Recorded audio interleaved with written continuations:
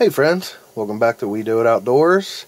Uh, today I am going to show you guys how I custom paint some uh, crankbaits. This is a 2.5 square bill. Uh, it runs uh, between 0 and 4 feet. Um, it has a rattle inside and it's got a little rattle weight in the front. Um, you hear it. But you can uh, you can use this as a top water. It floats or it'll go down to about four feet. So um, I'm going to do a new color, one I haven't uh, done before. So let's see how it turns out.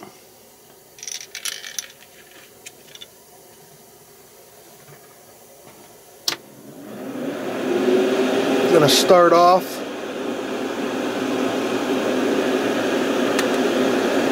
with the House of Kolor White for the base coat.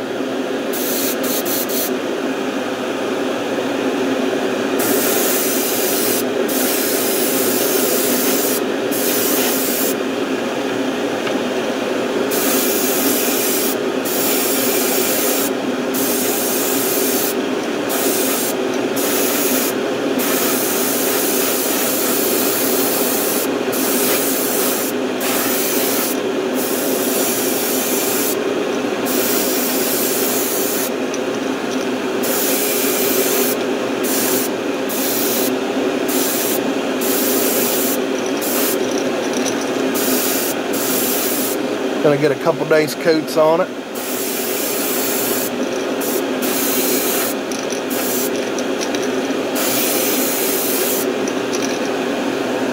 Alright, let that sit. I'm gonna change out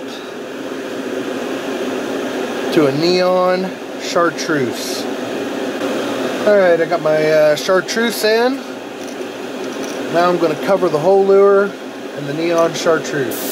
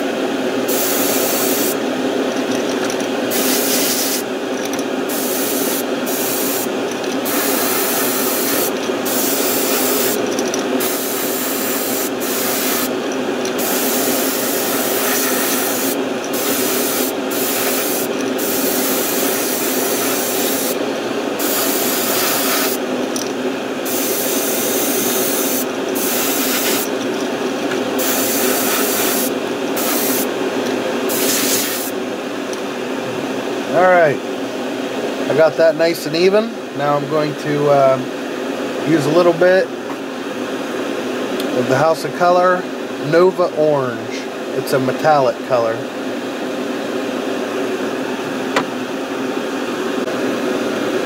Alright, I got my orange in. I'm going to start on the belly. A little bit of orange on the belly here.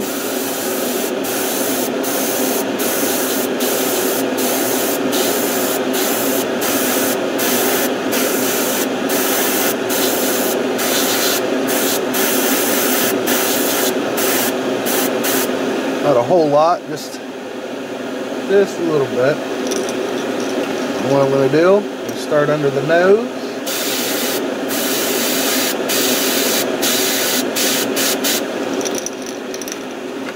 Set it in here. Take it back.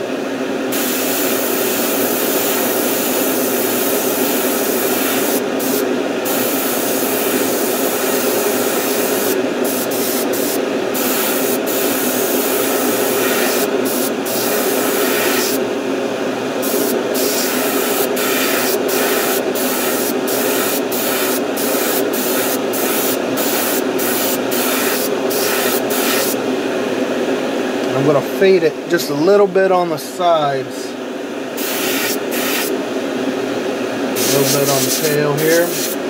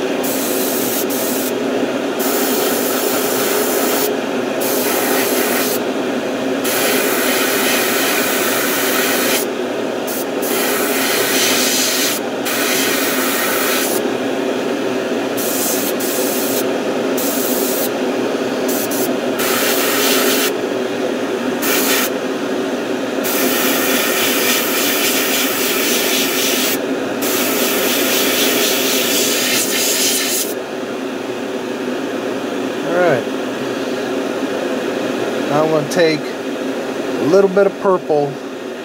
It's uh, it's a fine metallic purple.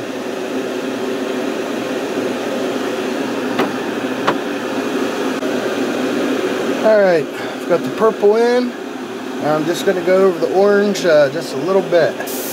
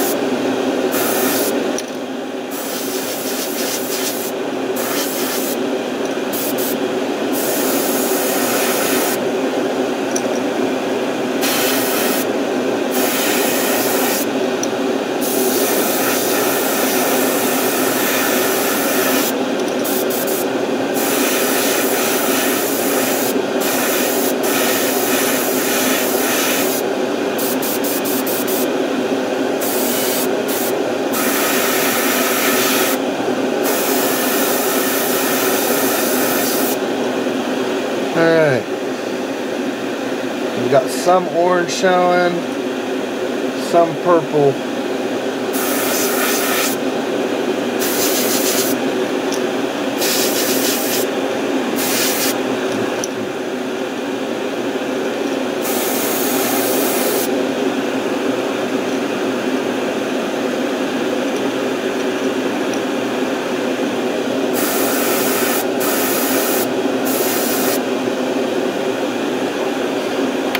We're going to take uh, base coat black and make a little design on the top and a couple little shad dots on the side. Alright, we got this netting here. I use it a lot for like scale patterns and stuff, but I'm going to I'm going to fold it up a couple times and it'll make a different looking pattern right here on the back.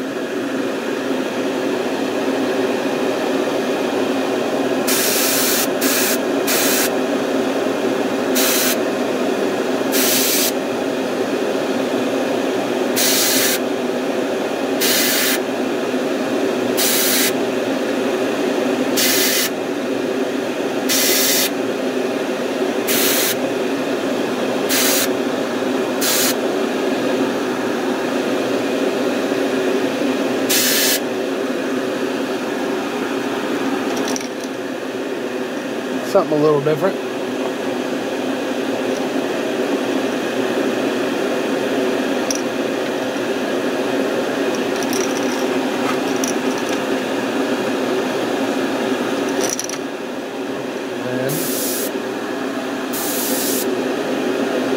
A little dot right here.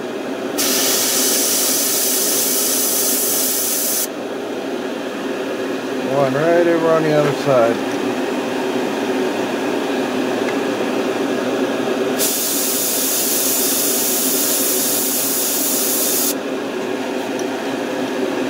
just like that.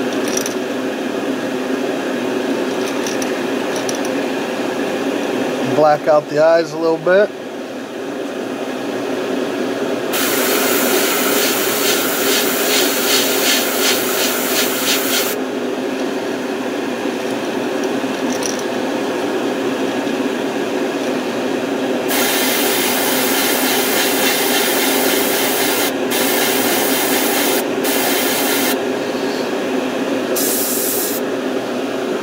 About here.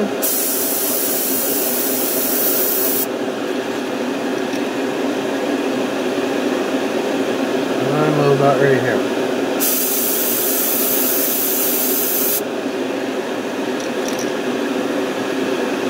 There you go.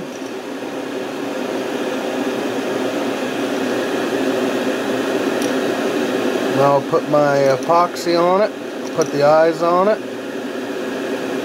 and uh, I'll show you some really good pictures of it once it's all dried and looking shiny.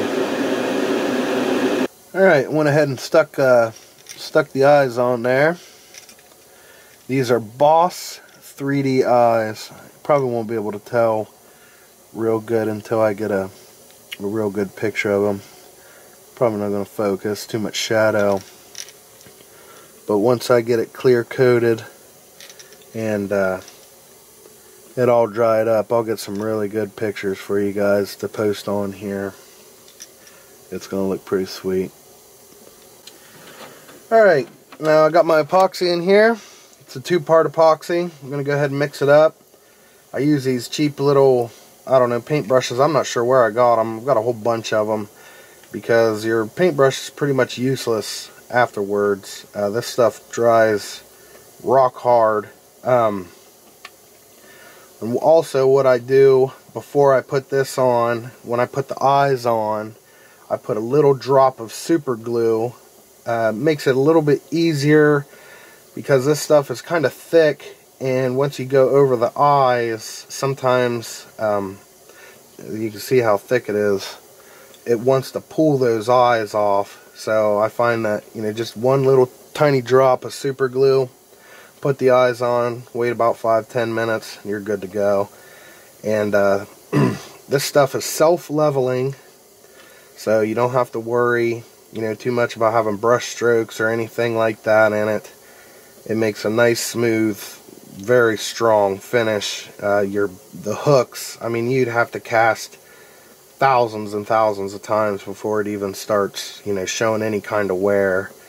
So, all right, I think I've got it pretty, pretty good here.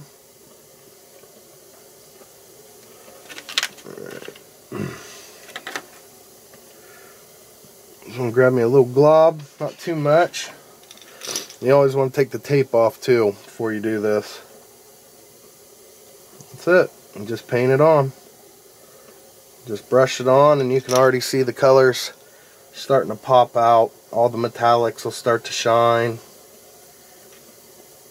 It's a lot better um, than using like automotive clear coat or anything because those hooks will just they'll just eat right through it. You spend a lot of time, you know, painting something like this, custom painting, and uh, you want you want it to last a really long time. And I can go right over the eyes, no problem. Make sure you get every part of it sealed. And I will pull a little bit down on the bill. Um, a lot of people cover the whole bill. If you've got a good lure, you don't really need to. Um, I find that if you get too much on the bill, it'll affect the way the lure swims. So I try to avoid getting too much on the bill at all. and this is a 30 minute epoxy. So you've got about a good five to eight minutes of good work time with it but it sets up to where it's pretty much you can't do anything with it in about 30 minutes. So you want to kind of go fast but you want to make sure that you're getting everything covered.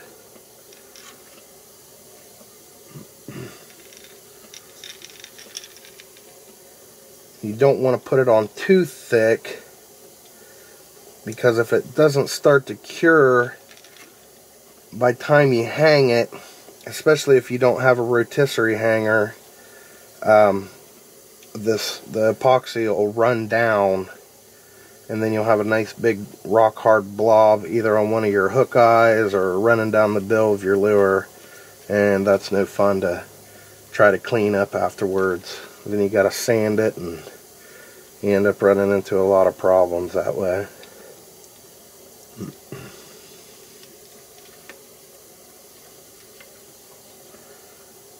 and one good coat. I mean that's all you need. This stuff you know it's thick enough. You don't have to put three or four coats on it. You just put one really good solid coat. Make sure it's completely covered and that's enough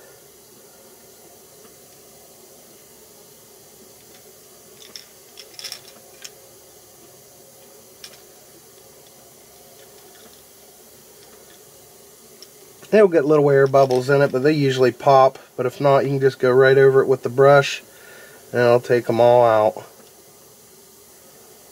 Like I said, this is a, a self-leveling epoxy.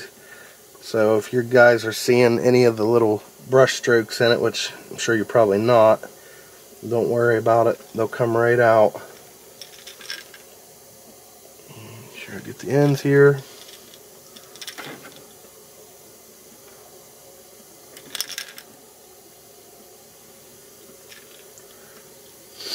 So yeah, it's a it's a fun little hobby. Make some extra cash on it. Um, if you're big into fishing and you know how much lures cost, this is a this is definitely a cheap way to do it. If you're going to do it for yourself, I mean, as far as paint wise and having the lure, but you know the the equipment can get pricey. I don't have a high dollar airbrush. It's just a cheapie I got off of eBay about eight years ago and it does me just fine for what I do. Alright, here's a little spot.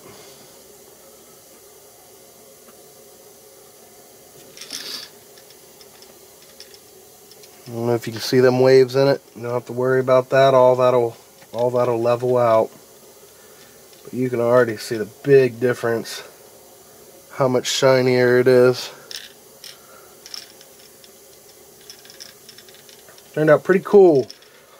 Not sure what I'm going to name it. I always name my lures. Um, if you guys would like to help me come up with some names, go ahead and leave it in the comments. And um, if I like it, next time I paint a lure, I'll shout you out and tell you that I uh, I named it after whatever name you came up with. Like to get you guys involved a little bit. There it is. It's done. That's all there is to it. Not a whole lot. I mean, this doesn't have a whole lot of detail, but it's got enough in there where, oh, I'm sure it'll catch some fish. So I want to thank you guys for watching. Don't forget to subscribe for more content. Twitter in the description. Drop me a like if you enjoyed this. And don't forget to, uh, you know, comment on a name if you want to come up with a cool name for it. Like I said, if I like it, I'll use it.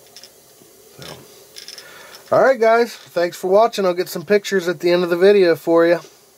Stay tuned till next time.